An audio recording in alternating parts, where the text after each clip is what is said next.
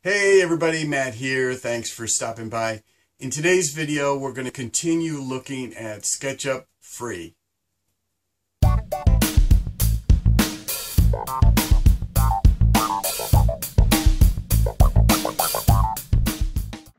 Alright, welcome back. This is now part 6 in the video series on SketchUp Free. If you're new to SketchUp or new to 3D modeling, I invite you to go back and start with part one of this series because this part, this is now part six, is going to pick up where we left off at the end of part five. At the end of part five, we were looking at the flip top table and specifically the hide and unhide features of the uh, of SketchUp Free.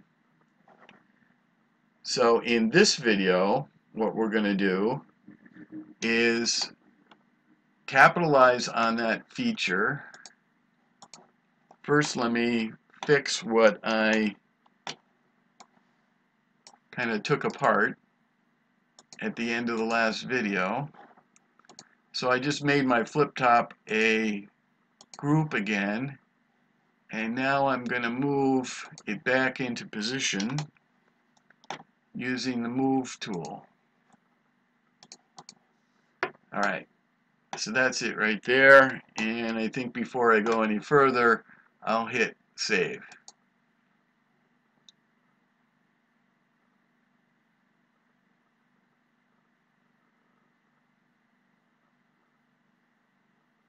Okay, so now I'm all saved. So what I want to do now is uh, let you know that my particular design process is such that I like backing up all of my work. So I always have a way to to undo anything that I've that I do from this point going forward. So what I tend to do is I'll make this whole model a group. So that's now a group. And just as I showed in the earlier videos, I'm going to copy the whole group and then paste it. Okay.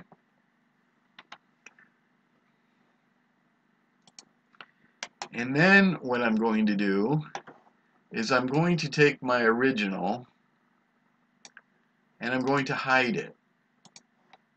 Okay, so it's still there.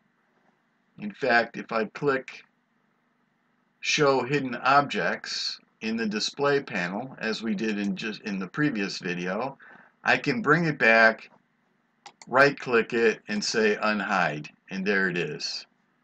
But for this video I want to hide it and then I'm going to turn off this little check mark which, make, which makes it takes it out of our view.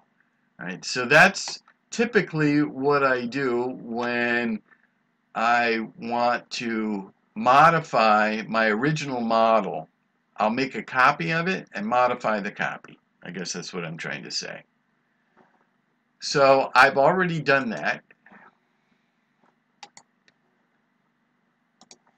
So uh, let me actually remove this copy because I've already made some copies of the model or a copy of the model. So here it is. And while I'm at it, just so we don't, well, I guess it might be useful for you to see the progression of the models.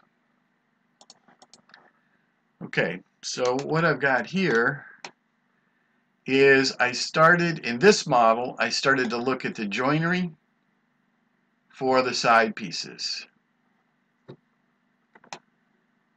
So let me show you specifically.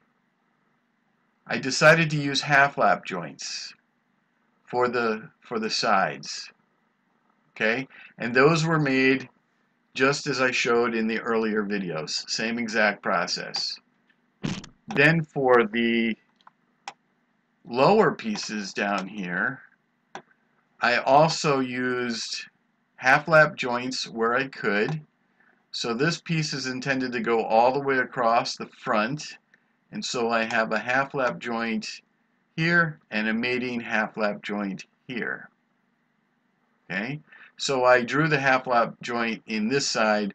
I have not, I've drew half of it on this side. I haven't finished drawing it right here.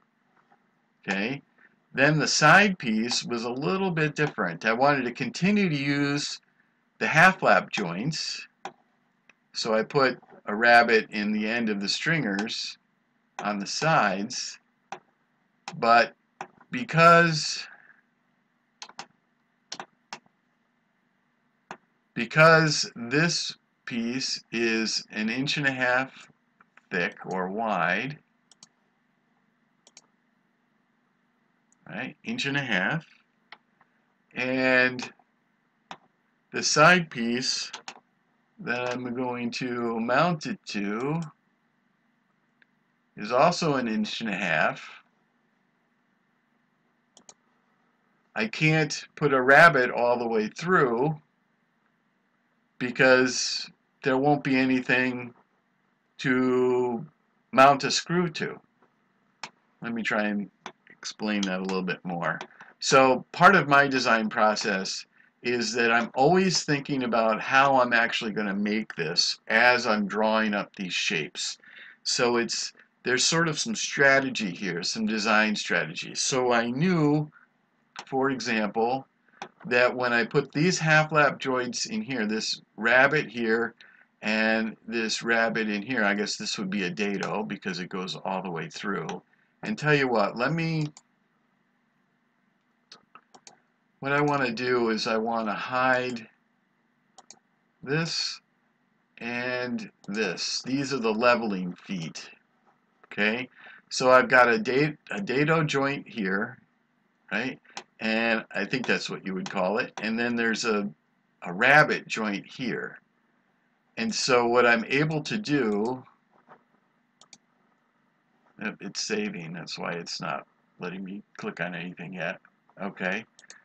So what I'm able to do is I can take this piece, which is its own group, and I can move it into place like so and you can see how that fits okay so once again as I'm designing I'm always thinking about how I can actually build this. So back over to this side. What I want to be able to do is push this piece into that notch. That's what I decided I needed to do so that I can put a screw all the way through here and into here to hold it into place. Just like I intend to put a screw in here and go into the wood here to hold this into place. And of course there'll be uh, some glue in there as well to keep it secure. So once again, just to reiterate, as I'm designing here, I'm thinking about how I'm actually going to fabricate. Now, this particular, I would call this a notch. This represents a challenge, like how am I going to cut a notch out of this piece of 2x4? So I'm, as I'm thinking about that, well, I can use a Forstner bit and try and take away most of the material and then use a nice sharp chisel to get these sides chiseled into the notch. So that's probably what I'm going to do. But that'll represent a little bit of a challenge. I don't know that I've done that before in a previous um, woodworking project.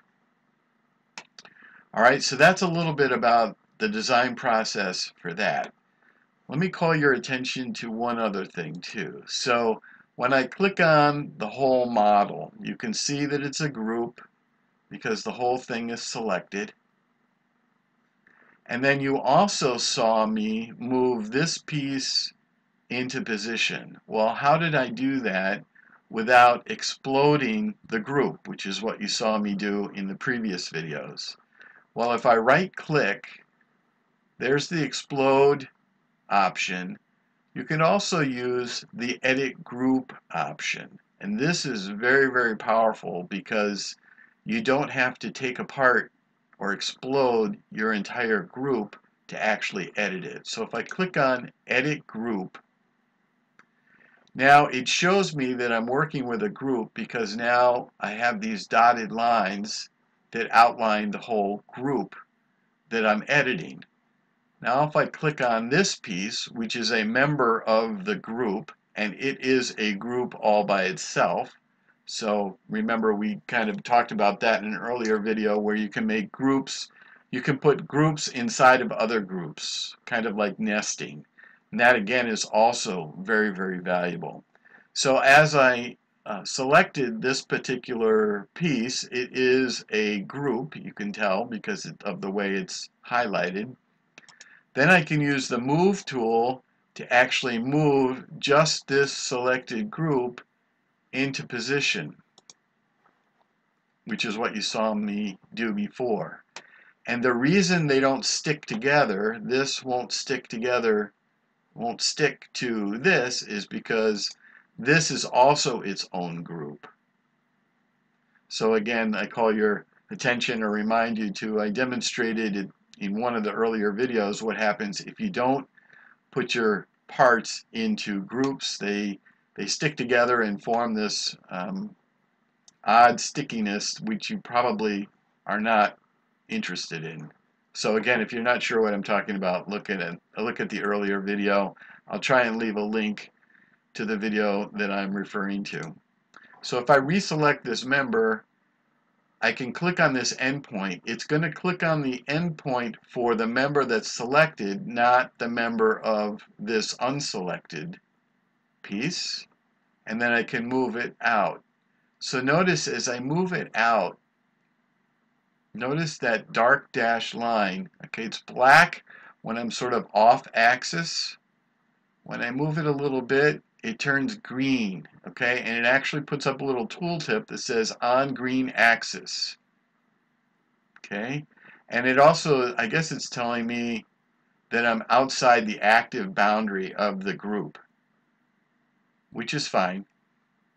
So now if I left mouse click again, I'm going to position that part. It actually moved the boundary, the outside boundary of the whole group because this piece, which is its own group, is still part of the overall group. So when I move this piece outside the previous active boundary of the existing group and then positioned it by left mouse clicking, it redrew the boundary for the active group. Interesting. Okay, so very powerful to understand how groups work, how the explode feature works, and now how to edit within a group. So at this point, I'm going to end this video.